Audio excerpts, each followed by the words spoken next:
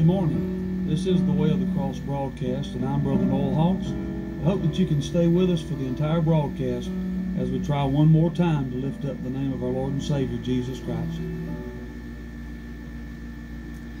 Well, it is a great joy to be with you again this week. We appreciate the opportunity that we have to be able to come and share a message from God's eternal Word. And it is a good day that the Lord hath made and we appreciate all the goodness of God and His blessings in our life. Uh, we're living in some days today that has got uh, the world turned upside down. But I'm glad that our faith in the Lord can still be strong. And I appreciate everything that the Lord has done for me. And uh, I'm glad that no matter what's going on around me, my salvation is secure in Jesus Christ.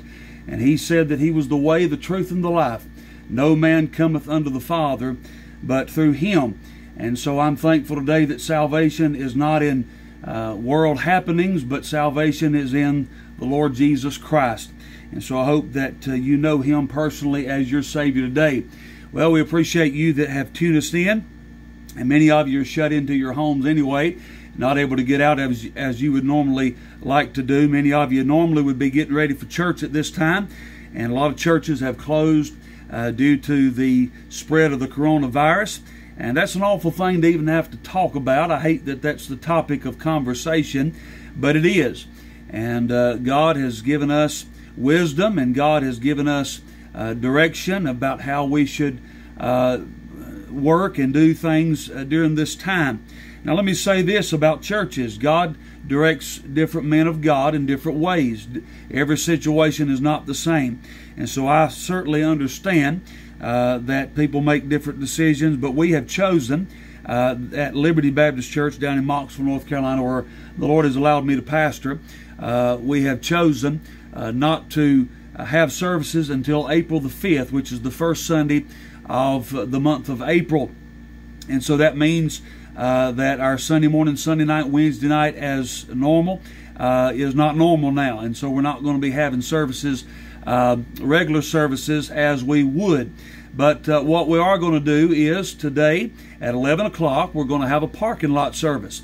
A lot of churches have done this. I've seen where other churches have done this, and I believe it's a good way to meet together without having to get close uh, and spreading anything that, you know, because we don't know.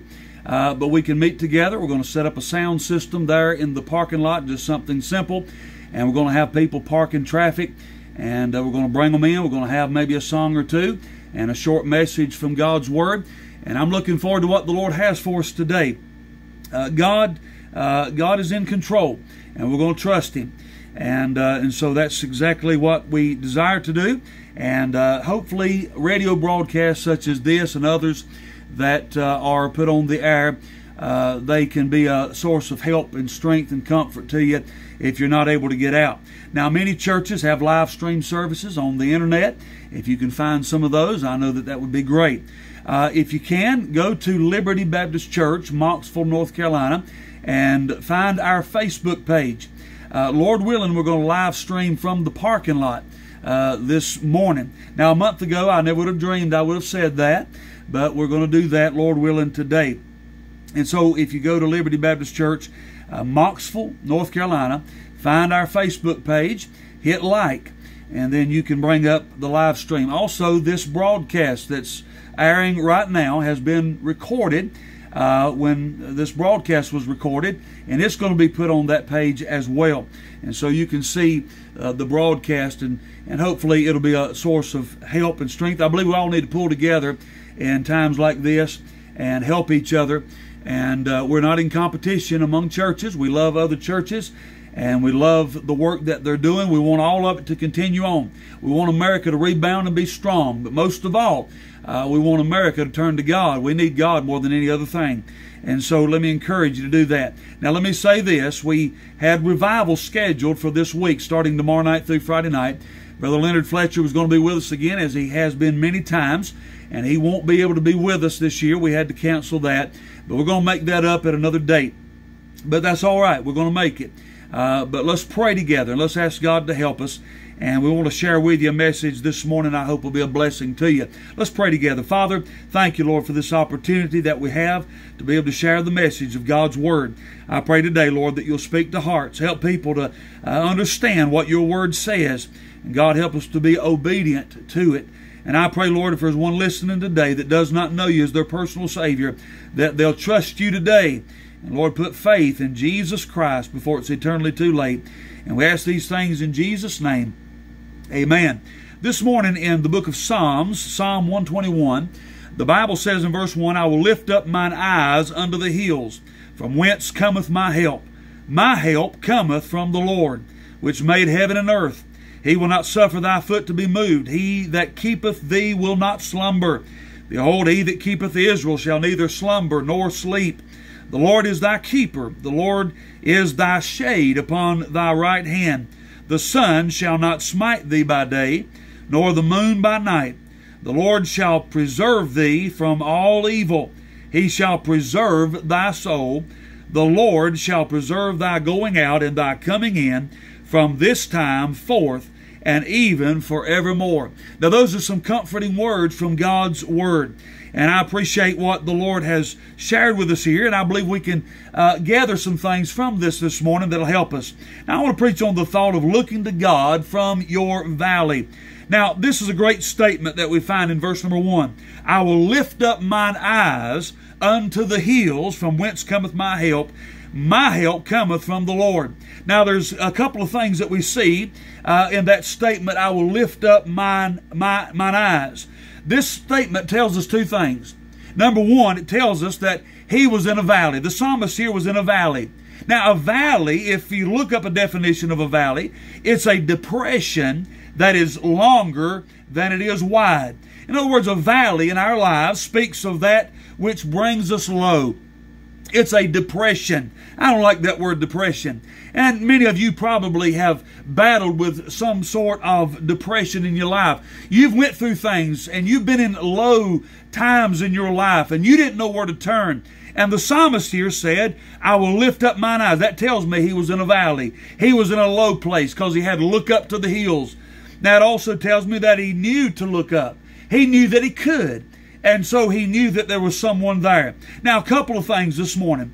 First of all, our problems. Uh, let's see our problems in the valley. Let me just break it down in different walks of life. Let me start with the lost. If you're unsaved today, you're in a valley of sin, and sin has brought you low. Uh, sin will always bring you down, it'll never lift you up. Sin will always keep you in a valley. Sin will always destroy, and It'll always hinder you and hurt you.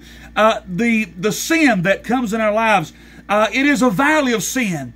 And the only way you're going to get any help is to look up to the Lord. Look to Jesus. He's the only one that can save. I'm thankful today that Jesus saved me November the 19th of 1980. And I trusted Him as a seven year old boy. And I'm glad when I was in my valley of sin that I looked up and God was there and He was willing to save me and He did save me. I not only see the lost, but the bereaved are in a valley of sorrow. Oh, what a what a valley that some have went through, and and even now in our church, a dear uh, couple in our church, dear lady in our church, her mother's just passed away, and uh, they're in a valley of sorrow. But I'm glad we can look up. I'm glad we can go to God. But here we see also the believers in a valley of struggle. You know, the the world and life of all sort, animal life, uh, everything is in a struggle. Uh, and Christians are not exempt. I go through struggles in my life. You go through struggles in your life. And that's a part of life.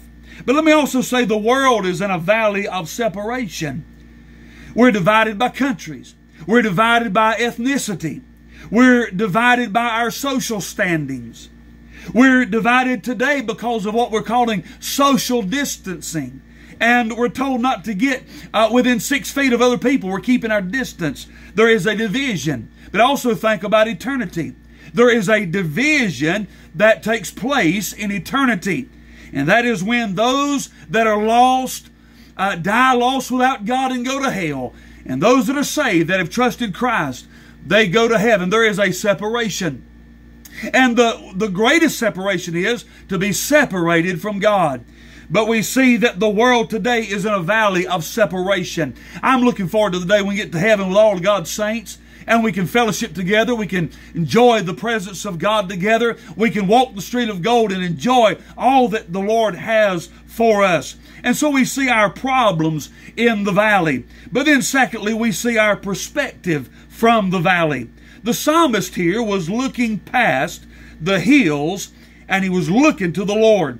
The Bible says in verse number one, he was he lifted up his eyes. Uh, he said, "From whence cometh my help? My help cometh from the Lord." Now the Bible says about the Lord here, which made heaven and earth. Now that God that made heaven and earth is worth looking to. He is our only hope. If you're in a valley today, and we all get in valleys, but if you're in a valley, especially if you're lost and uh, you've never been saved, you've never trusted Christ, uh, His death, burial, and resurrection for your salvation, then you are in a valley. The only hope we have is Jesus. The only hope we have. There is no hope in religion. There is no hope in the world. There is no hope in a vaccine or there is no hope in a, a political plan. The only hope that we have today is in the Lord Jesus Christ and Him alone. And so we see our perspective when we're in the valley and we look up we see from the valley, the Lord, my help cometh from the Lord. I can testify to that today. The only hope that I have, the only hope that you have, will come from the Lord. Let me ask you today, what valley are you in? Are you lost? Are you in a valley of sin? Are you going through a battle? Are you in that valley of struggle? What valley are you in today? Let me say that God is the one that we need to be looking to. Let me say four things that we find here in the scripture that we can see when we look to the Lord. Number one, He will hold you up. It says in verse 3, He will not suffer thy foot to be moved. Aren't you glad that all God's people uh, will be held secure because God is holding on to us? Hey, we would all lose our footing without God's grace. But because of God's grace, our foot will not slip. And I'm thankful for that today. So He'll hold you up. Second thing is, He will not sleep. The Bible says, He that keepeth thee will not slumber. Oh, I'm glad that our head, our eyes sometimes may get heavy, but the eyes of the Lord will never get heavy. He neither slumbers nor sleeps. If you're in a valley today, look up. Look to the Lord from whence cometh our help. The Lord is the only help that we have today. So he will not sleep. They also say about him, he will protect you. The Bible says in verse 5, the Lord is thy keeper. The Lord is thy shade upon thy right hand. The sun shall not smite thee by day, nor the moon by night. Here the Bible speaks of the protective hand of God. I'm glad that I have a God today, no matter what I'm going through, no matter if we're uh, quarantined, no matter if we're uh, losing our loved ones, no matter if we're going through battle after battle, we are protected by God. God is going to watch over us. And by the way, if you get sick and we do cross over into heaven, we're going to get our healing. And thank God that our healing comes uh, through the Lord and we have eternal healing through Jesus Christ. But the Bible says He will protect us. I'm glad God is a protector, and He will protect you and me. Let me say, lastly, this God that we speak of, that we should be looking to from our valley, is a God who will preserve us. The Bible says in verse 7 The Lord shall preserve thee from all evil, He shall preserve thy soul. Aren't you glad? The Lord shall preserve thy going out and thy coming in from this time forth and even forevermore. Let me say this about God's preservation God preserves His Word, and I say hallelujah to that. And God preserves His people. God is watching over you and me. God is going to protect us. God is going to watch over us. Let me encourage you today if you're in a valley, look up. Look to Jesus. Jesus is the only way, and He'll help you. I thank you for listening. Until next time, God bless you, is our prayer.